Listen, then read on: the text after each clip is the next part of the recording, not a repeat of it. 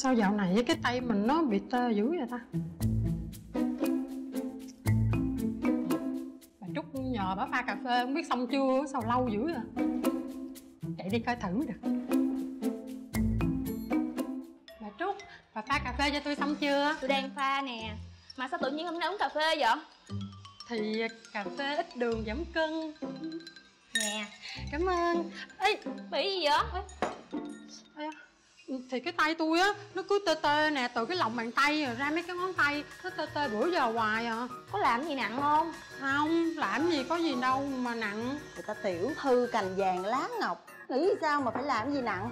Không biết gì hết trơn. Thôi tiểu thư cũng không dám sánh bằng Ricky Linh thôi mệt quá à. Hai bà ai cũng vào hết. Thôi thôi mệt quá cho miếng nước coi. Khát nước qua đi. Thôi, bà rồi sao bà diễn hết rồi làm gì vậy? Tay bị gì vậy? Không phải cái tay tôi nó bị tê nè. Thì nó tê từ trong cái lòng bàn tay rồi nó tê ra mấy ngón tay nó tê hoài luôn á. Đâu có có sao kỳ vậy? Nó cứ tê từ từ trong lòng bàn tay nè rồi nó tê ra mấy cái ngón tay. Nhiều khi nó tê cứng luôn á không có làm được gì luôn á. Kỳ vậy? Ê có khi nào bị bong gân không? Bong gân hả? Không phải. Tôi nhớ là hồi xưa á, tôi có bị bị bong gân rồi mà cái đau đó nó không có giống cái này đâu. Cái này nó tê kỳ lắm. Biết cái gì không? Đảm bảo là bà bị cái um, người ta gọi là hội chứng ống cổ tay. Hội chứng ống cổ tay là cái gì? Bây giờ nhiều người bị lắm. Bệnh của dân văn phòng đó. Bậy. Cái bà này cái đó người già mới bị nó còn trẻ măng bị gì? Thôi đi bà ơi không biết thì thôi. Bệnh tự nhiên có chừa tuổi đâu. Ai mà không bị? Dân văn phòng ngồi máy tính nhiều nè hay là mình chạy xe máy nhiều nè cái cổ tay nó chỉ có một cái tư thế như vậy thì nó dễ bị hiểu không? Chị họ tôi bị nên tôi biết tôi rành lắm. Nhìn là tôi biết liền à. Vậy họ bà bị rồi hả? Ừ. Ê, vậy cái bệnh này nó có nguy hiểm không bà?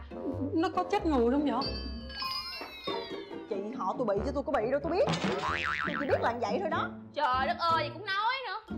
Ê mà tôi nghe đâu á là bị cái này nè phải đi mổ á. Đi mổ? Ừ. mà nghe đâu là cắt đứt sợi dây chằng ở đây nè. Trời ơi. Sau đó nói lại. Cái gì mà cắt gì mà nghe thấy ghê quá vậy? Vậy cũng vậy. Thiệt. Ôi bà ơi tôi sợ mổ lắm. Không mấy có cái gì mà mà mà uống hay là tiêm hay là xoa gì nè là nó hết không bà? Có. Ờ, phương pháp trị liệu tại nhà. Bây giờ gì ăn gì thì bổ nấy bàn tay mình nha có rất là nhiều gân. Bây giờ mình ăn gân nhiều vô thì nó sẽ giúp mình giảm tê. Ăn gân ừ Em có chắc không bà? Sao nghe thấy kỳ kỳ á? Tôi có lòng tốt giúp vậy thôi. Không tin thì thôi.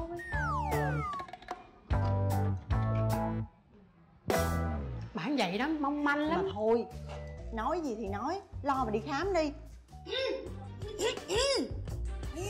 Khua dạ chào sếp. Trời ơi cái giờ này là cái giờ làm việc ha. Không lo làm việc Lo ở đây ta Tụm năm tụm bảy đặng nói xấu người khác hay gì? Dạ. À, à, không không dạ không. Ý em nói là dạ không. Không bao giờ có cái chuyện đó. Tụi em đứng thư giãn uống cà phê một chút. Thư giãn cái gì? Đi làm việc dạ dạ em đi liền. Nhìn, nhìn gì nhìn gì hả? Công ty trả lương cho mấy người. Đặng đứng đây mà nhiều chuyện hay gì? Đi làm việc đi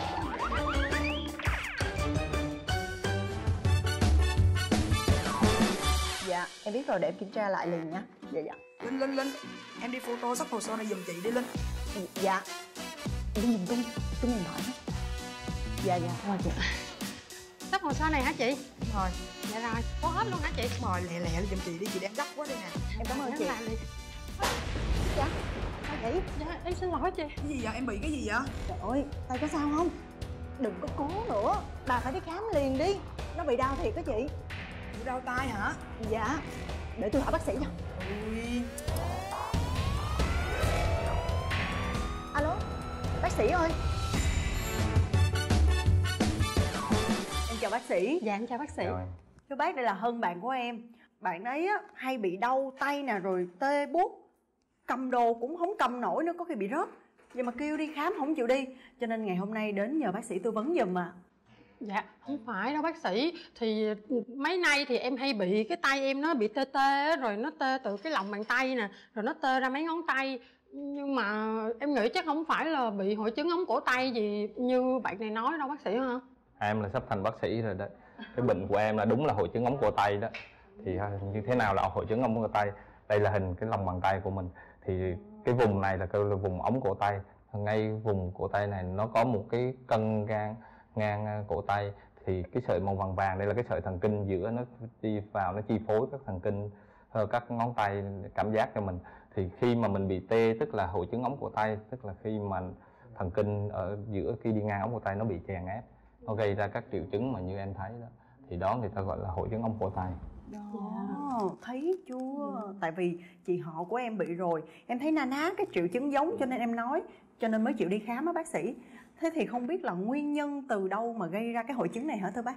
Rất là nhiều nguyên nhân. Tất cả các yếu tố mà nó gây ra chèn ép cho cái ống cổ tay thì đều gây ra cái hội chứng ống cổ tay. Bởi vậy người ta gọi là hội chứng là vì vậy nó có nhiều cái yếu tố tác động. Nhưng mà thường á các cái, cái bệnh và cái nghề nghiệp nó sẽ làm cho gây ra dễ gây hội chứng ống tay là những người sử dụng cái bàn tay cái cái sử dụng bàn tay nhiều và sử dụng cái, cái cổ tay mình phải cứ gặp dũa nhiều đặc biệt những người sử dụng như công nhân họ sử dụng cái máy đầm bê tông máy rung thì nó sẽ gây ra dày cái cái lớp này và nhân viên văn phòng cũng là một cái đối tượng bệnh cũng hay dễ bị hội chứng ống cổ tay đặc biệt là bây giờ cái thời đại là các các bạn là thích dùng cái hay cầm cái con thích đó, là cái con chuột. Yeah. mình cầm sai tư thế hoặc mình làm sai tư thế về lâu về dài nó cũng có thể gây ra cái ống cổ tay rồi à, các cô phụ nữ mà khi mang thai khi bản thân người phụ nữ là dễ bị hơn nam giới. Bởi vì cái cấu trúc nó không gian nó chặt hẹp hơn khi mang thai các tổ chức này nó phù nề lên. Thì khi mà đó sẵn nó bị che hẹp rồi thì khi nó phù nề nó cũng gây tăng lên cái chuyện chèn ép lên cái thần kinh giữa thì nó cũng gây ra cái triệu chứng ống cổ tay dạ. Ủa vậy bác sĩ nếu mà bác sĩ nói là tụi em cầm ví dụ như con chuột á mà cầm sai tư thế thì cầm như thế nào mới là đúng đúng tư thế bác sĩ? Dạ. tư thế mà để mà mình giảm tràn ép trên cái ống cổ tay là cái tư thế cái bàn tay phải trung tính.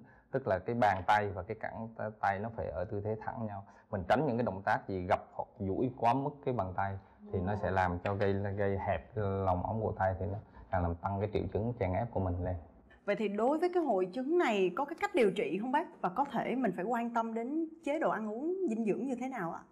Cái hội chứng này là cái bệnh điều trị được và mình có nhiều cái bước để mình điều trị. Nếu khi giai đoạn mà bệnh nhân còn nhẹ giống như em có thể tê nhẹ vừa phải thì mình có thể điều trị bảo tồn mình thay đổi cái cách làm việc mình à, thay đổi cái tư thế như tôi, tôi nói lúc đầu là mình giữ cái tư thế ở tư, cổ tay ở tư thế trung tính thôi. Ừ. và mình sáng dậy mình có thể tập thể dục vận động nhẹ nhàng cổ tay. Và nếu mình nặng hơn tí thì mình có thể bác sĩ sẽ kê thuốc cho một số thuốc cho điều trị như thuốc giảm viêm thuốc giảm sưng nề và thuốc ờ, về các bộ thần kinh để hỗ trợ thần kinh. Nếu nặng hơn một bước thì người ta có thể một bước trung gian là người ta có thể tiêm cái steroid vào để cho nó là một loại kháng viêm mạnh và, khi mà nó không nặng hơn nữa không được thì người ta sẽ phẫu thuật. Phẫu thuật là người ta làm gì? Người ta sẽ sẽ dễ cắt cái phần à, cái cái dây căng dây chằng ngang cổ tay để làm cho rộng cái cái ống cổ tay nó giảm cái chuyện chèn ép lên. Nhưng mà đó là cái bước cuối cùng thôi. Phần lớn là người ta có thể điều trị được bảo tồn nên là yên tâm. Không có vấn đề gì mà phải lo lắng quá mức. Thấy chưa? Nhưng mà cuối cùng cái cách phòng chống căn bệnh này là như thế nào hả bác? Yeah. Dạ.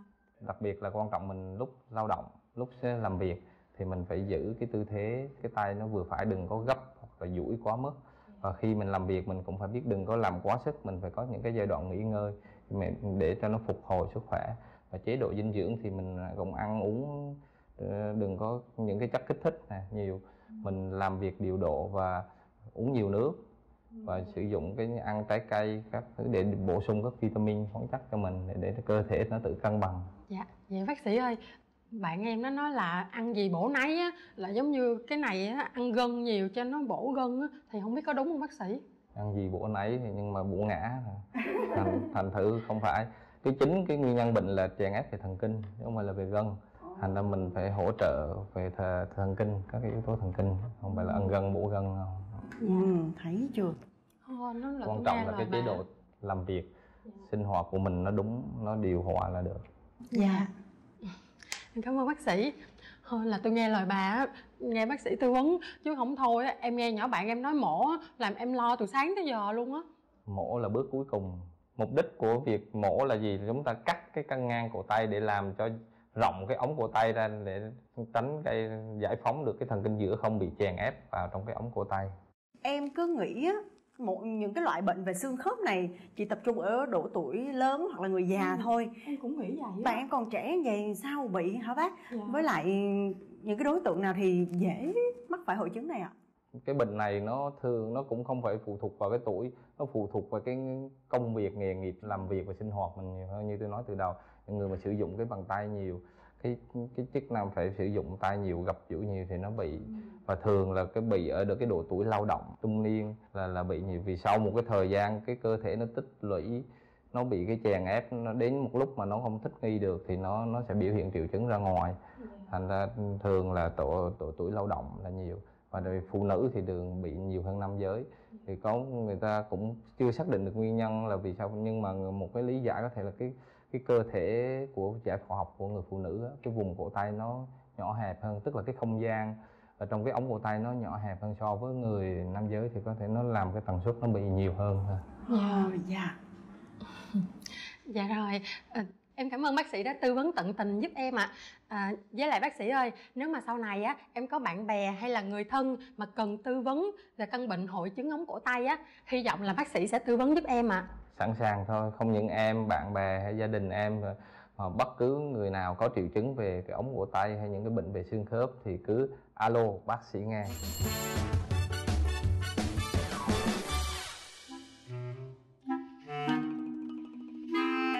Mình đã lớn tuổi hơn ống rồi, Sinh con xong còn già thêm mấy tuổi nữa.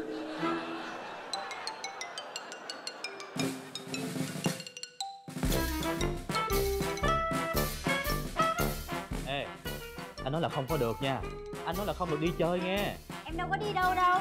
Không đi mà sao trang điểm lè loẹt như vậy? Nè Thôi bây giờ em muốn đi cũng được Nhưng mà đi đâu thì ẩm con theo Chứ lỡ mà con khóc anh không có dỗ được đâu á.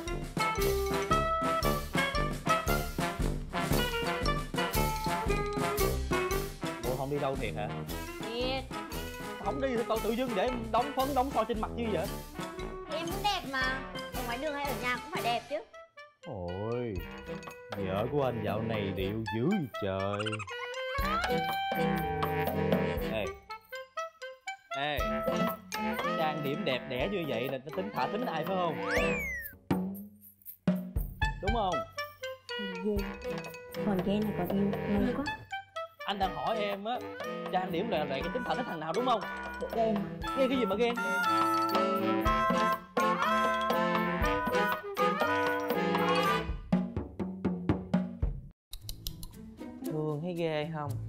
đó hồi xưa không chịu nghe lời tôi. Lấy chồng sớm đẻ con đẻ cái đi ra ngoài đường viết coi kìa. Nám hết trơn cái mặt. Bởi vậy bữa nay qua đây kiếm tôi là đúng rồi. Lại nguyên một cái công ty thẩm mỹ viện to đùng thế này.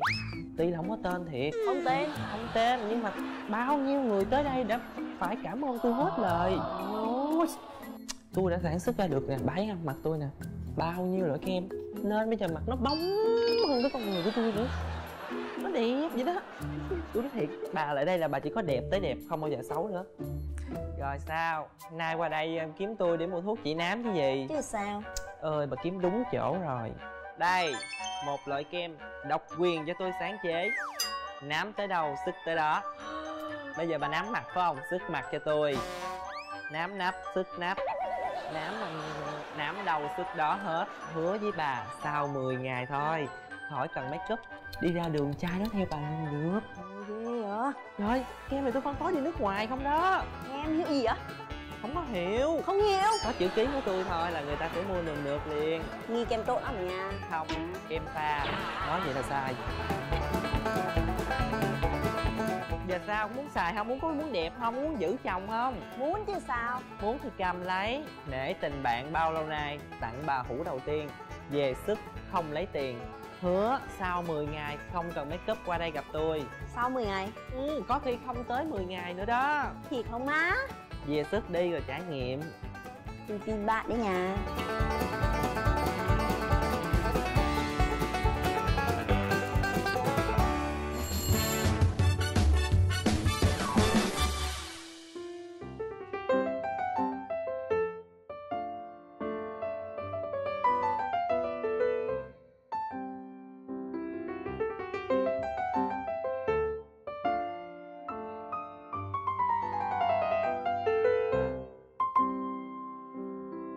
trời.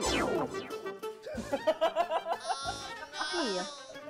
bữa nay em tính đi hát cải lương hồ quảng hay sao mà đánh mặt kìa Nói gì vậy? Em mới ngủ dậy mà, đâu có trang điểm gì đâu. Nói ngủ vậy cái gì? Nhìn cái mặt em đỏ chót kia kìa. Trời anh nói em rồi. Cái gì thì ở nhà chăm con chăm cái nấu cơm nấu nước đi. Buồn thì mở tivi coi Thích thì chơi game anh đưa máy cho chơi nè. Làm cái gì đánh mặt thấy ghê vậy? Anh cho em cái gương này Nè em nhìn đi nó đỏ lè luôn kìa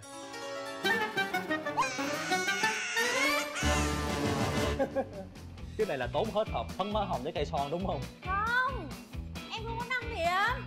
Ủa? Không trang điểm sao bị như vậy? Em không có biết. Ủa trời bây giờ sao đây? Ủa sao em bị gì ăn uống bậy bạ gì không? Không Anh ơi vậy có ảnh hưởng gì đến cho con bú không? Anh ơi làm sao bây giờ? Mặt em sao vậy anh? Làm sao? Bây giờ sao rồi anh? để anh để anh tính rồi không sao đợi đợi chút đợi chút. Alo bác sĩ ơi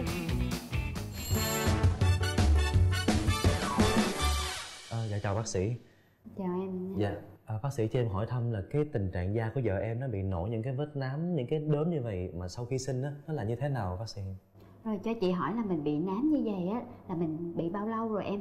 Dạ là em bị trước khi sinh bé và sau khi sinh thì nó đậm hơn ạ Rồi, à, rồi em có ở nhà em có dùng cái gì để em thoa lên không? Tại vì chị thấy hiện tại đó là da của mình ngoài cái vết nám đó nó còn có bị đỏ nữa. à, Dạ em có sử dụng ạ Ừ. Em sử dụng là em có ờ, có hiệu hay là có tên gì không? Cái kem đó à, đó. Cái đấy là nhờ một người bạn của em tư vấn và cho em dùng thuốc ấy Ừ, rồi em thoa được bao lâu rồi? Dạ em thoa tầm 10 ngày ạ À em thoa tầm 10 ngày thì em thoa mấy ngày thì da nó đỏ lên như vậy.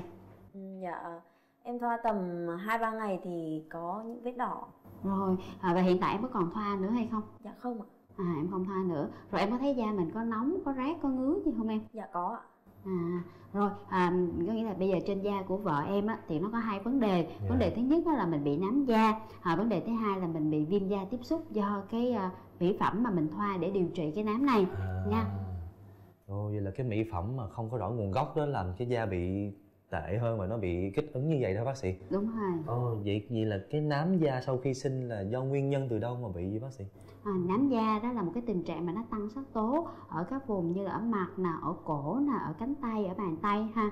À, nó biểu hiện cụ thể trên vợ em đó là những cái đốm màu à, nâu hoặc là màu xám nâu ở hai bên gò má.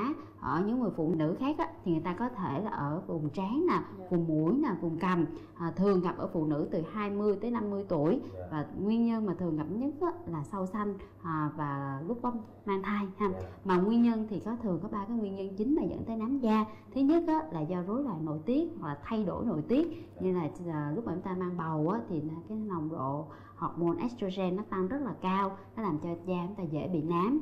Thứ hai đó là do cái tiếp xúc với ánh sáng mặt trời. Thì trong ánh sáng mặt trời nó có tia UV tia cực tím á nó tác động lên làn da và nó làm cho da da chúng ta bị sạm bị nám. Và thứ ba là cái yếu tố di truyền. Nếu như mà trong gia đình của chúng ta có mẹ nè có chị gái hoặc là em gái mà bị nám thì da của chúng ta cũng rất là có nguy cơ dễ bị nám Ồ, thấy chưa? Rồi cái này chỉ là nám da thôi mà em sức bậy sức bạ rồi cái còn rát không? hơi hơi. Ờ, thì cái việc điều trị nám đó thì nó cần phải tuân thủ các bước sau đây. Thứ nhất là chúng ta phải là hạn chế tiếp xúc với ánh sáng mặt trời. Chúng ta sẽ hạn chế ờ, đi ra đường từ 10 giờ sáng tới 4 giờ chiều cái thời điểm đó là cái bức xạ cực tím nó cao nhất ha. À, nếu mà chúng ta bắt buộc phải ra đường á, thì chúng ta nên à, che chắn kỹ bằng cách là à, đội nón nè à, đeo mắt kiến đeo khẩu trang mão tay dài và thoa kem chống nắng à, trước khi ra đường 20 phút. À, và nên lặp lại mỗi 2 tới 3 giờ. Thì hiện tại em đang thoa thì cũng không biết là em thoa cái gì nhưng mà việc điều trị nám á, thì chúng ta sử dụng những kem mà có các thành phần à, như là à, hydroquinone ha retinoid axit azelaic tuy nhiên đối với những người phụ nữ mà sau sanh như em thì chúng ta phải sử dụng những cái sản phẩm mà nó an toàn mà nó không có ảnh hưởng tới cái việc mà cho bé bú. Thì đối với phụ nữ sau sanh thì chúng ta nên sử dụng à, những cái thành phần như axit azelaic nè axit cozic hoặc là axit ascorbic hay còn gọi là vitamin C đấy em.